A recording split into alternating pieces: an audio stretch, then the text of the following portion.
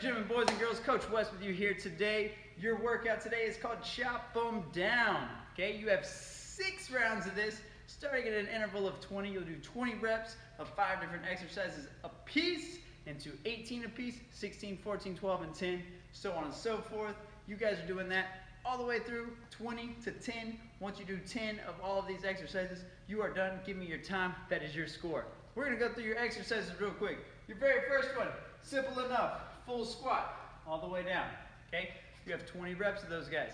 Into 20 standing press outs or vertical chest presses. So let's just say I had a backpack, a weight, a kettlebell, a dumbbell, something like that. I'm coming straight from my chest. I'm gonna press all the way out, full extension, bring it all the way back to my chest. I am here.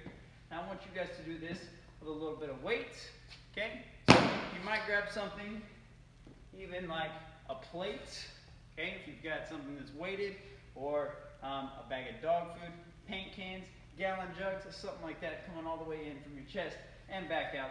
You're gonna do 20 of those guys. Big thing is keeping your shoulders back. I don't wanna see any of this. Shoulders back the whole time. Into hand to knee cross mountain climbers. Now, these guys are a little bit tricky here.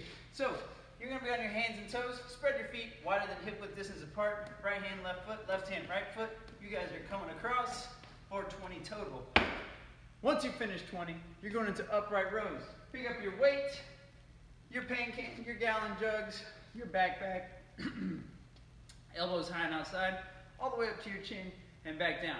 You are here for 20 reps into your very, very last one, which are plank hip dips. So you guys are gonna be on your elbows and toes.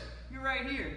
What I want you to do is take your hips all the way to the ground, one side and the other. One, two, three, four, five, to 20. Then 18 of each, 16 of each, 14 of each, 12 of each, 10 of each.